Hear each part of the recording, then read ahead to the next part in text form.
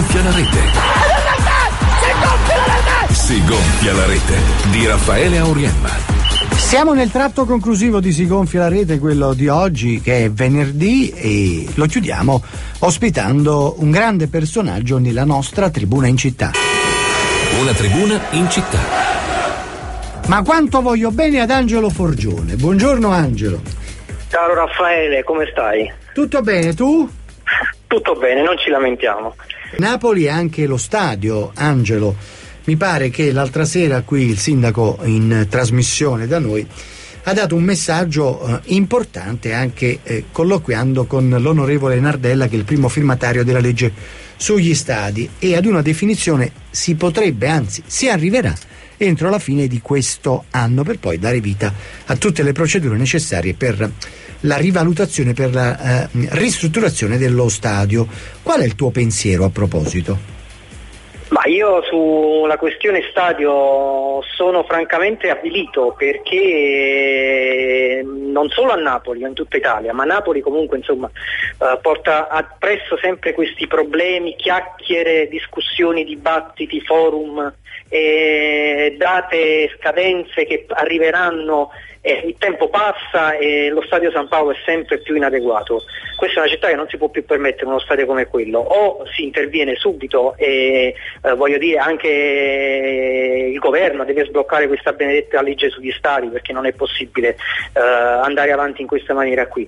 Napoli deve anch'essa cercare di trovare delle soluzioni adatte, l'ha fatto Torino, chiaramente insomma le disponibilità lì, anche se Torino apparentemente sembra una città ricca ma in questo momento non è assolutamente la città ricca che tutti quanti crediamo. Torino è la città più povera del nord, statistiche alla mano. Quindi se Torino è riuscita a costruirsi, non dico lo, lo Juventus Stadium perché eh, alla fine ne ha costruiti più di uno di stadio, ha rifatto per le Olimpiadi il, uh, il vecchio comunale, comunale ha ricostruito sulle macerie del vecchio delle Alpi lo Juventus Stadium, quindi nel giro di 20 anni ha costruito, se contiamo, tre stadi.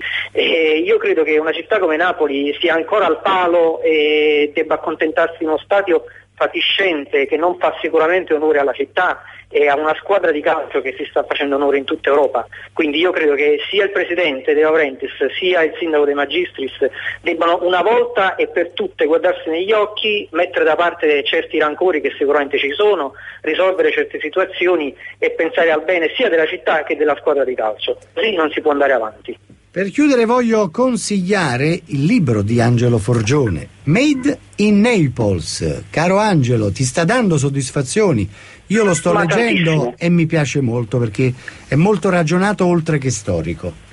Assolutamente, credo che sia un libro, come hai detto tu, giustamente ragionato, senza alcuna volontà di mm, straparlare. È un, un, libro nel quale metto dentro tante cause storiche che ci conducono alla nostra realtà quotidiana, quindi eh, senza voler eh, esaltare troppo la nostra città, ma comunque dando con un occhio più obiettivo uno sguardo alla nostra storia che è importante e fondamentale, ha costituito l'Occidente, ha costituito l'Europa, e non lo dice Angelo Borgione, non lo dice Raffaele Orima, ma lo dice l'UNESCO che protegge questa città come patrimonio dell'umanità. Eh, noi tutti quanti sappiamo che Napoli è patrimonio dell'umanità, ma forse non diamo i connotati a questo patrimonio, non sappiamo che cosa significa poi alla fine. Significa che l'UNESCO ha detto che questa è una città eh, unica in Europa perché ha conservato la sua identità in tutte le sue manifestazioni, in tutti i suoi aspetti, partendo dal tessuto urbanistico che è rimasto quello eh, dell'età greca Napoli è l'unica città in Europa che mantiene la sua identità. Di questo dobbiamo essere assolutamente orgogliosi, non dobbiamo esserne all'oscuro, anzi dobbiamo recuperare tutti quanti la nostra identità e cercare di fare in modo che questa città unica in Europa ritorni a esserlo anche sotto il profilo culturale, che purtroppo eh, non vive più belle stagioni come una volta, ma sicuramente ha un retaggio molto molto importante. Tocca ad ognuno di noi, ma se ognuno di noi è come Angelo Forgione, certamente che questo rinascimento partenopeo avverrà in tempi anche rapidi. Angelo, per chiudere, ma tanti tifosi mi chiedono, ma il Raffaele Auriem eh, del 2014 di Angelo Forgione, il si gonfia la rete, non c'è quest'anno?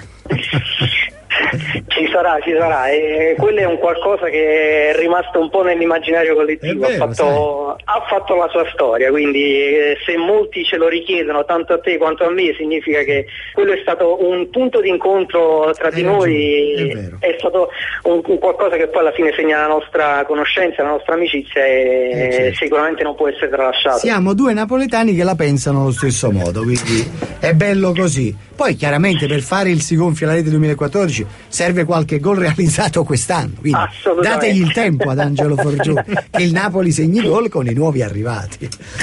Va bene. È giusto. Angelo, è sempre bello sentirti, ti ringrazio. Altrettanto un saluto a Marco Giordani e a tutti voi e a tutti i radioascoltatori. Buona giornata al nostro Angelo eh, Forgione. Si gonfia la rete. Si gonfia la rete di Raffaele Auriemma.